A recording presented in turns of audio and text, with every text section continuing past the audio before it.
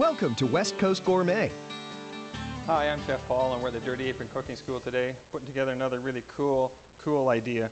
Fresh ahi tuna, you can't beat it, it's so good. A little fresh salad on the side. What we're going to do with it today is we're going to take a little sesame oil that we've infused into some cream cheese, kind of a unique idea.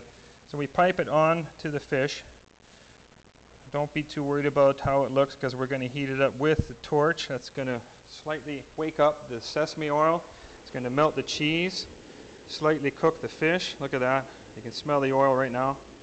And we're going to apply a tangerine dressing to it. That's a, it's a reduction of tangerine, shallots, and orange juice. Really, really nice.